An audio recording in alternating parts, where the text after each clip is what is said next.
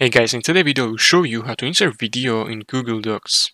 First go to Google Drive, upload the video file by dragging and dropping it. After upload, right click on the video file, click on copy link. Go to Google Docs,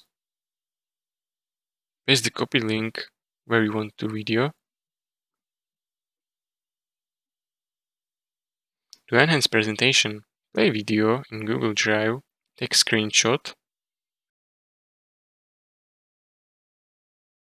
and paste screenshot in Google Docs.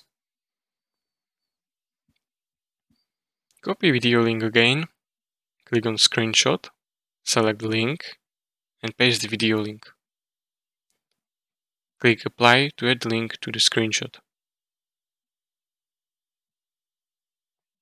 Now, when viewer click on the screenshot in Google Docs, they can access and watch a link video. And that's all. If you found this tutorial helpful, please consider subscribing and like the video.